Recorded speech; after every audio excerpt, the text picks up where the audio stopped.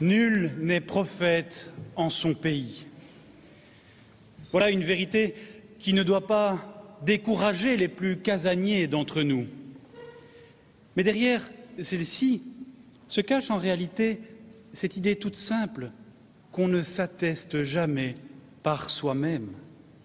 Pour grandir, il faut de la distance, de l'écart, même par rapport à sa propre famille, à son milieu sans recul, sans accompagnement extérieur peut-être. Nous avons une grande facilité à mentir à nous-mêmes, à ne pas accueillir notre propre vérité. En effet, dans la vie, c'est bien souvent l'autre, le conjoint, l'ami, l'être aimé, l'étranger peut-être, qui vient faire grandir en nous notre propre vérité. Dès lors, pour qu'une parole prophétique résonne aujourd'hui dans le terrain de notre cœur, prenons un peu de recul et ne soyons pas comme les habitants de Nazareth qui croient savoir, mais sachons croire. Et pour cela, redécouvrons une réalité toute simple, aussi simple que difficile à mettre en pratique. Il s'agit de notre capacité à nous étonner. L'étonnement est cette sagesse de l'émerveillement et du questionnement en toutes circonstances. En effet, il nous arrive si souvent d'enfermer les gens qui nous entourent dans des cases, derrière des costumes, dans ce qu'ils ont un jour maladroitement dit, écrit ou fait, comme si nous les empêchions d'être des prophètes d'avoir une parole autre, différente. Durant l'enfance de Jésus, rien ne laissait présager quelque chose d'exceptionnel dans la vie de ce banal fils du charpentier. Et nous l'avons entendu à la synagogue de Nazareth, il n'a eu devant lui que des compatriotes qui pensaient tout savoir de lui.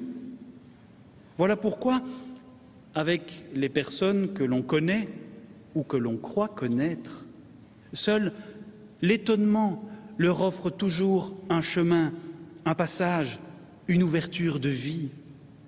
Seule notre curiosité leur propose toujours une route, un chemin.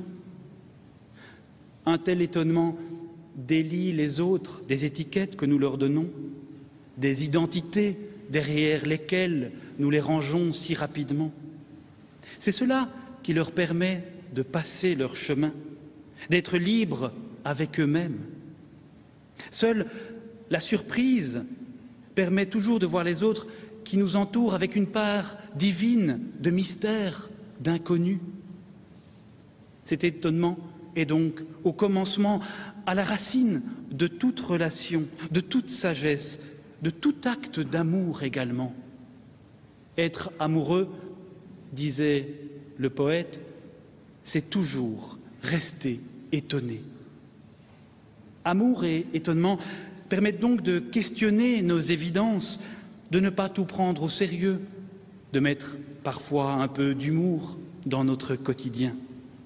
D'ailleurs, quand on perd cette capacité à s'étonner, les autres deviennent bien souvent prévisibles, et lorsqu'ils sont prévisibles, ils sont bien vite invisibles à notre cœur. Nul n'est prophète en son pays. Pour le dire autrement, dans le champ de l'amour, c'est en fait qu'il n'y a pas d'amour possible lorsque l'autre est dans un terrain connu, conquis.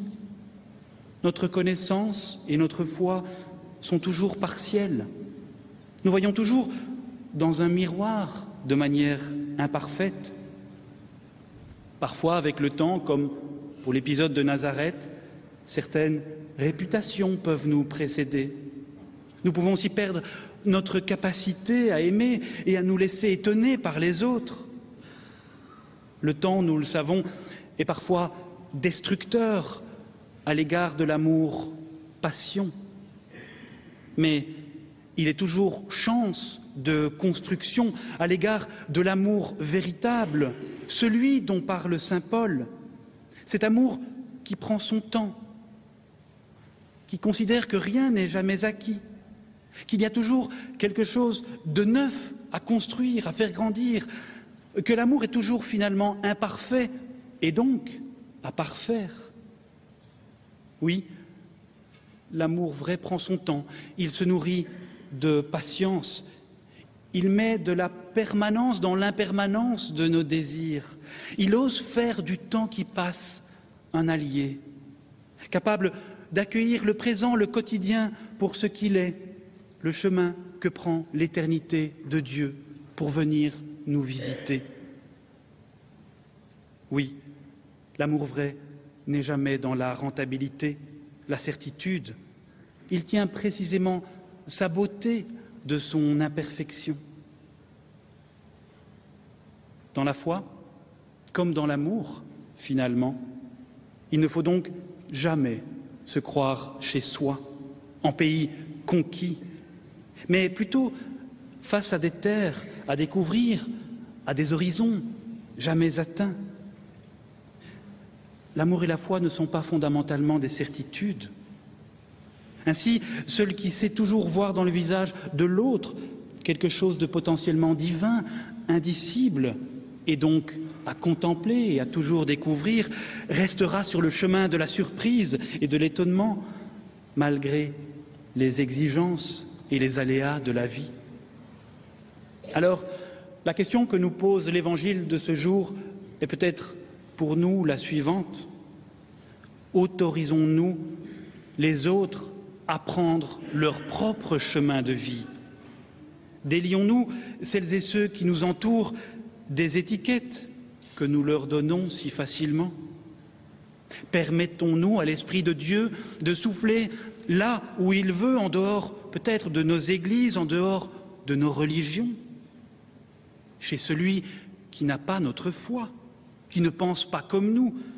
Nous l'avons entendu chez la veuve de Sarepta, chez Naaman, le Syrien. Permettons-nous vraiment à l'Évangile de faire son chemin en nous et autour de nous. Et si à cause des aléas de la vie, de nos souffrances ou de nos peurs, nous perdons parfois notre capacité à aimer et à nous étonner, nous pouvons aussi garder vive cette confiance que Dieu nous aimera toujours et s'étonnera toujours de ce que nous sommes. Pour celui qui se risque à croire en ce Dieu qui fait merveille et qui s'émerveille, alors il y aura toujours cette tendre voix divine pour nous dire, au milieu de tes peurs et de tes préjugés, passe, avance, cherche les dons les plus grands. Donne-moi de toujours m'étonner de toi. Amen.